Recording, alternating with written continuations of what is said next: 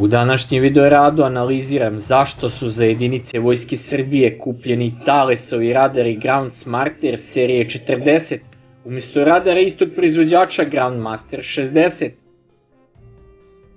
Naime, na vojnom prikazu grani 2023 su mnogi očekivali da će videti kupljene radare Family Groundmaster, pa su čak i osvanule fotografije sa priprema jedinica Vojske Srbije i radara GS-40, koji su mnogi najavili kao kupljeni Grandmaster 60. Istina je da je radar Grandmaster 60 isto mobilan, kao i radar Ground Smarter 40 i da je njegova uloga takođe da osmatra na liniji fronta kako bi jedinicama u borbi pruži informacije u vazdušnom prostoru na samom bojištu. GM60 radar to radi u pokretu i isto može da otkrije veliki broj različitih pretnji u vazduhu poput velikog broja istovremenih pretnji kao što su borbeni avioni, helikopteri, kestareće rakete, bespilotne letelice i rakete, artiljerije i minobacači koji mogu dejstovati istovremeno u različitim veličinama, različitim brzinama i iz svih uglova, kao i Ground Smarter 40, ali na skoro duplo manjoj udaljenosti, odnosno od 80 km po daljini. Zbog veće cene radara Groundmaster 60 u odnosu na nabavljeni radar Ground Smarter 40,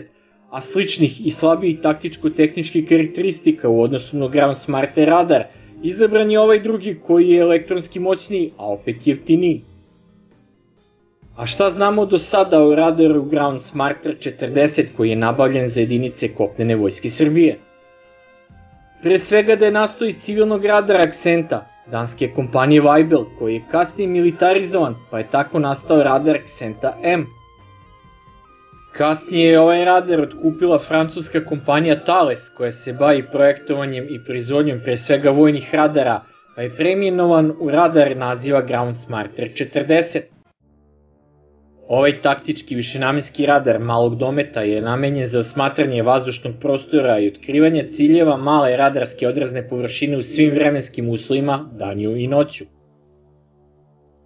Ovim radarom se mogu otkrivati i pratiti ciljevi veoma malih dimenzija, poput malih kvadrokoptera ili malih bespilotnih letelica sa fiksnim krilima, kakvi su dronovi kamikaze. Takođe može otkrivati ispaljenu artiljerijsku municiju sa proračunom tačke lansiranja i pada balističkih projektila, rakete ili granata, što je jako bitno jer kopnenoj vojsci Srbije nedostaju artiljerijski radari, pošto ima samo jedan sovjetski Snar 10. Radar GS-40 će biti uvezani sa hibridnim PVO sistemima PASARS jer je namenjen i trupnoj PVO i to je još jedna uloga u vojsci Srbije jer može otkrivati ciljeve u pokretu u zaštiti trupova na maršu. Za potrebe trupne PVO jedinica Vojske Srbije ima ulogu otkrivanja, praćenja ciljeva u vazdušnom prostoru sa visokom preciznošću za potrebe navođenja sistema artiljerijsko-raketnih jedinica PVO malog dometa, kakav je domaći Pasars ili ruski Pancir S-1E. GS-40 radar je radar sa tehnologijom fazirane radarske rešetke i aktivnog radarskog skeniranja AS-a, koji radi u X frekventnom opsegu, a njegov maksimalni domet po daljini za otkrivanje cilja velikog radarskog odraza je do 150 km, dok mu je maksimalna visina otkrivanja cilja u vazduhu do 10 km, a maksimalna brzina rotacije radarske antene do 60 obrtaja u minuti.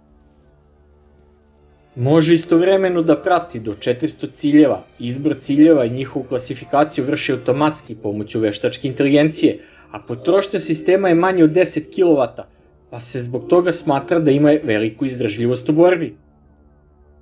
Predviđeno je da se u domaćoj izvedbi ovaj radar postavi na samohodno borbeno oklopno vozilo domaće proizvodnje, koje će najverovatnije biti domaći MRAP M20, kao što je to već nagovešteno na slici koja je predstavljena na vojnom prikazu Granik 2023.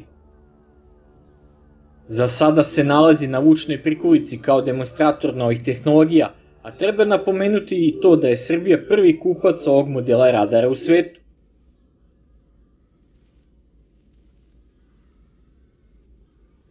Sve u svemu ovo je značajan pomak u povećanju situacione svesti jedinica PVO i kopnene vojske Srbije – dok će sa isporukom Thalesovih radara Family Groundmaster 200 i 400 Srbija dobiti još jasniju radarsku sliku svog vazdušnog prostora u tri dimenzije.